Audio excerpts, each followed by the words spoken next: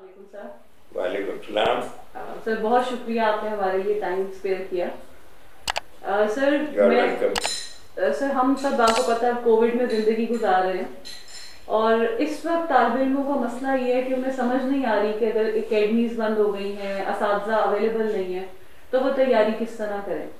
सो एक सवाल जो कि मुझे सबसे पहले स्टूडेंट्स की तरफ़ से ही सवाल मेरे पास कुछ आया। तो पहला सवाल ये है कि क्योंकि आप भी एफ़ के एग्जामिनर रह चुके हैं सो so, जब पेपर चेक होते हैं क्योंकि बच्चे तैयारी करते हुए सबसे पहले ये सोचते हैं कि जो उस्ताद पेपर चेक कर रहा है उसके दिमाग में क्या चल रहा है। तो आप खुद एग्जामिनर रह चुके हैं।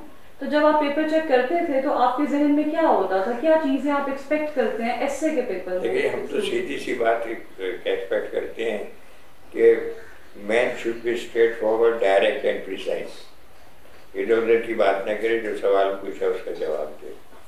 लोग सवाल का जवाब देने की बजाय they start showing their scholarship वो नहीं होना चाहिए। That's not needed the simplest answer is the best answer simplicity and precision, these two are the soul of wisdom. ये दोनों होनी चाहिए। और सर आपने एक दफ़ा मुझे कहा भी था कि जो स्टूडेंट वर्बोसिटी दिखाता है उसका तो पेपर ही हाँ वो क्रॉस तो कर देता है। तो चलेगा नहीं बिल्कुल भी नहीं चलेगा वो। Because the only purpose of writing और talking is that the other person understands it If he doesn't understand it, then what is the use of it? So it's a waste of time. अच्छा sir result में हम ये भी देखते हैं कि बाजू का एक बच्चा होगा जिसे 38, 39 मार्क्स मिले और दूसरा होगा जिसे 40 मिले तो वो बच्चा जो 35 प्लस पे फेल हो रहा है और जो 40 पे पास हो रहा है उनमें क्या फ़र्क होता है? I think uh, it's the meanness of the ये नहीं होना चाहिए। uh, मैंने देखा है कि in the Peshawar University, I, I appreciate that. They don't give anybody 35 marks. Either they give 34 or they give 40. Okay तो ये उनका एक उसूल है और I think I appreciate that कि जो 35 ले जाता है उसे पास मार्क्स देने में कोई रज नहीं है। लेकिन कुछ लोग 39 पे दे देते हैं। तो ये मैं समझता हूँ this is meanness of the examiner और कोई बात नहीं। और सर हमने इस दफ़ा एक और ट्रेंड भी देखा कि एग्जामिनर ने ज़ीरो दे दिया। तो मतलब ऐसे स्टूडेंट्स भी हैं जिनको ज़ीरो मार्क्स मिले। तो अब वो उनको समझ ही नहीं आ रही कि वो ज़ीरो मार्क्स को कैसे इवेल्युएट करें क्योंकि ऐसे तो उन्होंने लिखा था ब- बहुत बड़ी प्रॉब्लम है ना सीएसएस के साथ जिसकी वजह से कहते हैं कि C S S is a lottery because there is no overseeing of the performance of the examiner उसके ऊपर कोई और चेकर नहीं है तो वो फ्री है जो चाहे दे दे एक ही सवाल के दस नंबर दे दे उसी के अस्सी दे दे। तो there is no check on him and this is a very wrong thing ये नहीं होना चाहिए but it is the system और सर जब पेपर सेट होता है क्योंकि बच्चे तो यही करते हैं कि अभी 2021 का पेपर था तो उन्होंने 2022 का पेपर सामने रखा। जब एग्जामिनर पेपर बना रहा होता तो उसके सामने क्या होता है? क्या लेआउट होता है उसके जहन में कि एसए के पेपर में किस तरह के टॉपिक्स दिए जाए? जो पास पेपर ही देखते हैं और जो कोई उससे पता लग जाता है कि ये स्टैंडर्ड है ये ट्रेंड है बस ठीक है। सर एक चीज़ ये होती है कि स्टूडेंट ये सोच रहा होता है कि प्रेसी जो है वो पास पेपर से आती है। तो ये तो एक इंसिडेंटली हो जाता है ना कि वो ओवरलैप कर जाए। लेकिन ऐसा तो नहीं होता कि एग्जामिनर पेपर सेट करते हुए सोचता है कि मैंने पास पेपर्स में से कोई चीज़ देनी है। नॉट नेसेसरीली पास पेपर में तो नहीं आती। प्रेसिज नॉर्मली नहीं होती है रिपीटनेस नहीं होती नॉर्मली अच्छा सर इस दफ़ा का अगर हम एसए और प्रेसी का पेपर देखें तो प्रेसी के पेपर के अंदर जो ऑब्जेक्टिव्स आए दे वेरी डिफ़िकल्ट और वो बीस कंपोजिशन का पेपर जी, प्रेसिज। प्रेसिज एक सवाल होता है जी बिल्कुल। अब वो जो 20 नंबर के ऑब्जेक्टिव्स आए वो बहुत मुश्किल थे। अब उसमें अब स्टूडेंट्स को वो 20 नंबर के ऑब्जेक्टिव्स भी मुश्किल थे। प्रेसी का सवाल मुश्किल था ट्रांसलेशन में इस्तेमालियत एक लफ्ज आ गया जिसका मानी किसी को नहीं आता था इंग्लिश उसकी नहीं आती थी। तो अब इसमें बच्चों को समझ ही नहीं आ रहा कि जब रिज़ल्ट आएगा तो क्या होगा? वो सारे फेल हो जाएँगे। नहीं, सारे नहीं फेल होते बाकी सवाल भी हैं कि ये सवाल तो नहीं है ना, और भी सवाल है तो उनमें नंबर ले लिया आदमी। देखिए ना, ये तो कंपेटिटिव एग्जामिनेशन है। जिसने ज़्यादा नंबर ले लियो पास हो जाएगा, जिसका काम आया पीछे रह जाएगा। तो ये तो कंपटीशन है यहाँ पर, और कोई बात नहीं।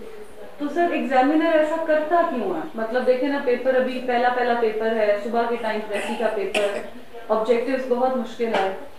This depends upon the mood of the examiner you can't check it जो किस तरह सोच रहा है कैसे देख रहा है क्या उसका नुकता नज़र है क्या ले जानना चाहता है? वो तो ये अपना अपना एटीट्यूड होता है अपना अपना अप्रोच होता है। तो मैंने देखा कि बहुत से एग्जामिनर्स ऐसे हैं कि they are very competent as teachers but they become examiners unfortunately और एक अच्छे टीचर को तो पता होता है कि स्टूडेंट से क्या पूछना चाहिए तो सर क्या अब इसमें से वो वाली बात फिर सही निकलती है कि C S S is a game of luck exactly it's a lottery यही कहते हैं लोग कि लॉटरी है लग गई तो लग गई। नहीं लगी तो ना लगी। अच्छा सर अगर हम आपसे पूछें कि ऐसे क्या है? ऐसे एक आपको इशू दिया जाता है। इस इशू को आपको डिस्कस करना है। तो सबसे पहली चीज़ ऐसे में ये होती है कि you formulate your thesis thesis means what is the issue and what is your approach to the issue ये दो बातें उसमें ये थीसिस स्टेटमेंट फिर you elaborate upon this to this called extent of the issue then you discuss the causes of it and then give remedies for it. There are only four parts of essay. तो sir ऐसे में जो language होती है ये तो ठीक है कि लैंग्वेज सिंपल हो लेकिन ये तो पॉसिबल नहीं होता किसी भी स्टूडेंट के लिए कि वो फ्लॉलेस लिखे। तो गलती तो हो जाती है। तो ग्रामेटिकल गलतियाँ अगर थोड़ी बहुत हो जाए तो दे आर एक्सेप्टेबल कंपटीशन है। तो जो भी होगा कंपैरेटिव होगा। जिसने कंपैरेटिवली कम गलतियाँ की होंगी उसे नंबर ज़्यादा मिल जाएँगे जिसने ज़्यादा की होंगे उसको कम नंबर मिलेंगे। दैट्स ओके और सर इस सारे में सबसे डिस्टर्बिंग सवाल जो बच्चों के लिए होता है वो ये कि थीसिस स्टेटमेंट क्या है Thesis statement means two things identification of the issue and approach to the issue. For example, if there is a question about the status of women in Pakistan, so you will say these two things. One is that in Pakistan, women are suppressed. इसको elaborate करेंगे तो लिखेंगे कि they are denied their basic human rights that's all ये thesis statement हो गया. The issue elaboration of the issue और फिर उसके बाद फिर आप कैसे शुरू हो जाते हैं. एक्सटेंड ऑफ़ द इशू आ जाएगा पहले. ये जो आपने थीसिस पे बात की इसको तफसील से बयान करें एंड देन कॉजेज एक और ऐसे होता है जो कहलाता है क्रिएटिव लिटरेरी उसमें कोई इश्यू नहीं होता। उसमें आइडिया होते हैं जिसे डेवलप करना होता है। जैसे a thing of beauty is a joy for ever honesty is the best policy यहाँ थीसिस नहीं बनाना क्योंकि everybody thesis will be the same you don't have to formulate a thesis. You just give your response. Then arguments in favor of the response. And then illustrations. Give examples from various writings. अब sir ये जो idea based ऐसे होगा और जो issue based ऐसे होगा अब इनकी वर्ड लिमिट में भी फ़र्क पड़ जाएगा तो एग्जामिनर जब चेक कर रहा होता है तो वो ये भी देख रहा होता है कि वर्ड लिमिट एक जैसी हो या ये जो थोड़ा सा मार्जिन होता है क्योंकि अब तो सर जैसे थ्री थाउज़ेंड वर्ड्स का ऐसे है फ़र्क कैसे थ्री थाउज़ेंड का तो हो ही नहीं सकता। हाँ हो ही नहीं सकता बिल्कुल। दो घंटे में ज़्यादा तीन घंटे में दो हज़ार वर्ड 2000 बस टू थाउज़ेंड वर्ड यानी fifteen pages fourteen to fifteen pages इतने हो सकता है बस। ज़्यादा नहीं तो जब वो आइडिया बेस में जाएँगे तो वो 1500 या 1400 तक रह जाएगा। नहीं क्यों रह जाएगा? आप आइडियाज़ को एलेबरेट करें एक्सप्लेन करें इलस्ट्रेशन दें। पहले आप एक थीसिस दें फिर उसका आर्गूमेंट्स दें। फिर उसके बाद पूरा हो अच्छा सर अब बच्चे सारे घर ही बैठे हुए हैं कुछ आए हुए भी हैं लाहौर। ठीक है। अब उन्होंने तैयारी करनी है प्रेशर बहुत ज़्यादा है एकेडमिक्स का भी वो हाल नहीं रहा और एक साल से मुसलसल ये रुक रुक के तालीम का सिलसिला चल रहा तो आप उनको क्या रिकमेंड करेंगे कि तैयारी कैसे सबसे पहली बात तो ये है कि जो लोग लाहौर में रहते हैं they should make a habit of doing to the कैदान university कम अज कम हफ़्ते में तीन दफ़ा ज़रूर जाए वहाँ पर। वहाँ बुक्स भी हैं मैगजीन्स भी हैं अखबार भी हैं सब कुछ है। तो there is no dearth of knowledge at the same time वहाँ पचास साठ लोग रोज़ाना आते हैं लड़के लड़कियाँ जो की प्रेपरेशन कर रहे हैं उनसे डिस्कशन करें। They come from various institution they come from various academies उनसे डिस्कस करें कि उनको क्या बताया गया उनको क्या बताया गया। And you learn lot from that तो वहाँ लाइब्रेरी में कोई किताबें हैं मैगजीन है उनको कंसल्ट करें जाए this is the best of in Lahore और सर जो बच्चे लाहौर में नहीं रहते? जो लाहौर में नहीं रहते उनके लिए यही है कि वो जितना भी जहाँ भी कहीं कोई लाइब्रेरी हो पढ़ने की कोशिश करें और अपने साथियों से डिस्कशन करें क्योंकि reading and discussion these are the two sources of knowledge तो डिस्कस ज़रूर करें आपस में एक दूसरे से कोई एजुकेशन पे ऐसी चीज़ नहीं सीक्रेट रखना तो प्रूव करें आप खुल कर सर बहुत सारे बच्चे ऐसे होंगे जिन्होंने फ़र्स्ट अटेम्प्ट दी या सेकंड अटेम्प्ट दी और वो फेल हो गए। ठीक है। सो so, वो बहुत ज़्यादा डिप्रेस भी होंगे डीमोटिवेटेड भी होंगे। और आपको तो जाना जाता है आप इतनी अच्छी मोटिवेशनल बातें भी करते हैं और इनकरेज भी करते हैं स्टूडेंट्स को तो उनके लिए आप क्या मैसेज देंगे? उनके लिए मैसेज देंगे कि they should never lose hope God is there who appreciates effort. अगर अल्लाह देखता है कि मेहनत की तो मेहनत जाए नहीं चाहती, कहीं ना कहीं काम हो जाती है। दूसरी एक बात और भी है कि अगर आपकी सी एस एस की तैयारी बहुत अच्छी है और खुदा न खास्ता आप सी एस एस में कामयाब नहीं होते तो this preparation makes you very fit man for any job आपको डिस्कस करना आता है, बातें करनी आती हैं, लोगों के साथ बहस करनी आती है तो you will make a good worker wherever you go you will get a good impression तो ये बेकार नहीं जाता। Any effort any labour that you do is never good never goes waste ये सारी बातें। तो the first thing that is required is confidence कि आप में ये कॉन्फिडेंस होना चाहिए कि मैं जो कह रहा हूँ या कह रही हूँ इसमें कोई बात वाकई वज़न है। और वो जब ही होगी जब आप रोक डालने की कोशिश नहीं करेंगे, बल्कि अपनी बात करने की कोशिश करेंगे। ये मेरे जहन में बात है। And if you are normal person you think normally then you value आपके ओपिनियन की वैल्यू है, उसको आपने एग्जामिनर he will appreciate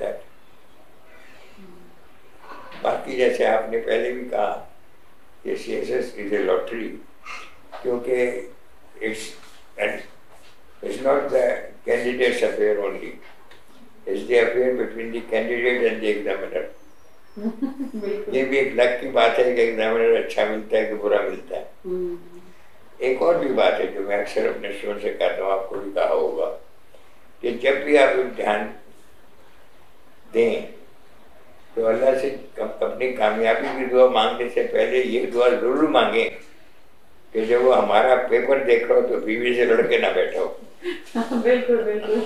वरना सारा गुस्सा आप पे चल जाएगा। तो they are so many factors human factors हैं टेम्परामेंट के फैक्टर्स हैं। फिर आइडियोलॉजिकल अप्रोच का मतलब भी है जो आपसे एग्री करता है नहीं करता है।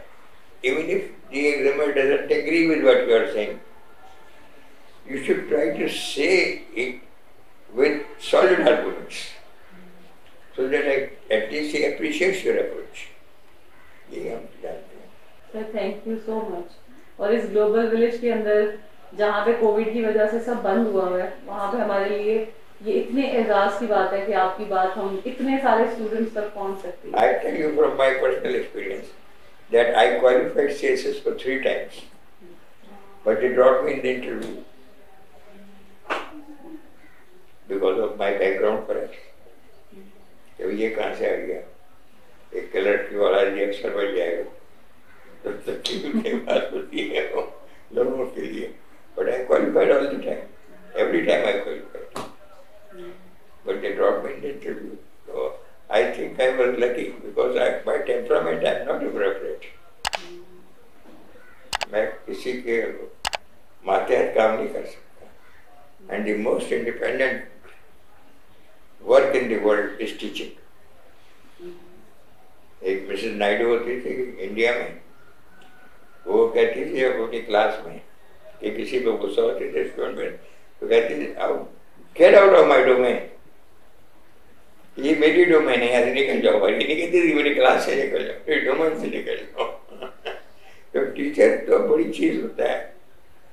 ये is a big authority and आप, अगर सेक्रेटरी भी हैं गवर्नर के सामने हाथ बाँध के खड़े हो जाते हैं।